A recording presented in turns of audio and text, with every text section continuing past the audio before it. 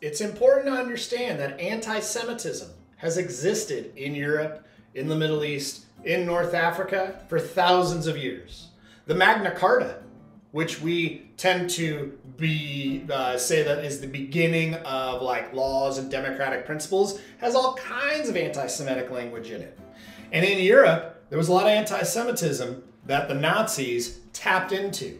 And Vichy France, the southern part of France, was no exception. It was a very anti Semitic place, and they helped bring European Jews to the Nazis. So there's going to be collaborators with the Nazis, and then there's going to be people that are resisting the Nazis. Some non Jews helped hide Jews from the Nazis with their life at stake if they were caught.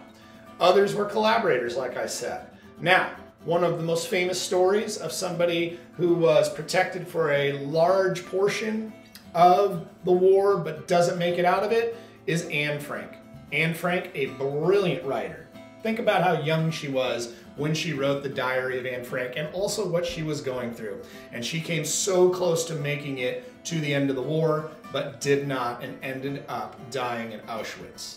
Now, the individuals that tried to help her they did it for a long period of time. I've actually been in Amsterdam in the Anne Frank house. It is an incredibly surreal experience to be in the same location in which Anne Frank spent so much time hiding from the Nazis.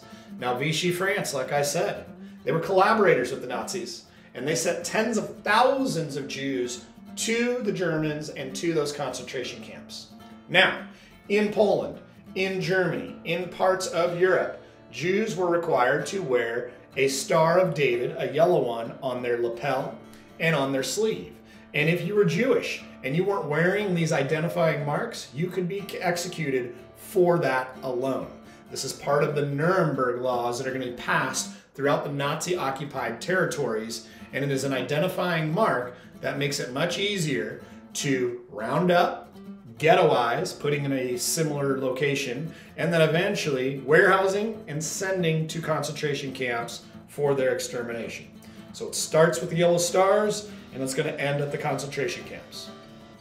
Now, if this was a normal school year and we were all in the classroom together, at this point we would begin the film Schindler's List, which does a very good job of showing the beginning, middle, and end of this process by the SS, which was a part of the Nazi Party that was put in charge of the Holocaust, an attempt to exterminate all European Jews. Now, a lot of pictures behind me here.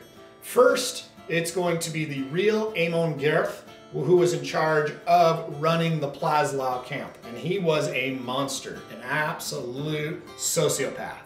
Now, the actor that portrayed him in Schindler's List is also included here. He's standing in front of that picture of flames, and you probably recognize that actor from the Harry Potter series. That is Ralph Fiennes, who played Voldemort in the Harry Potter series.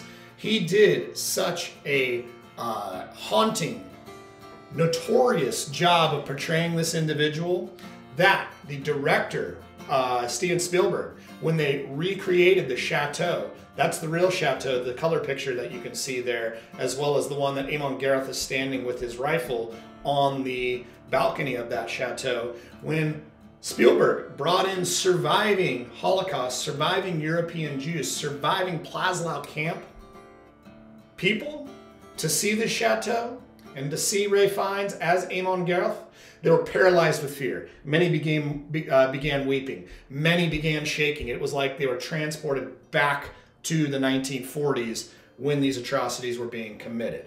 So, like I said, in a regular school year, we would see Schindler's List. We would see Amon Gareth and how he ran those concentration camps and ultimately what his fate was when the Soviets found him. When the Soviets found him, he was in a sanitarium. And when they found him, they brought him out, they put a rope around his neck, they kicked out the chair, and they hung him right outside. So, that is going to conclude today's lesson, which was obviously a lot of very dark material. It's important to understand this dark material because it is important to understand why this fight was so important. So until next time, world history, copy box, you know what to do. Play us out.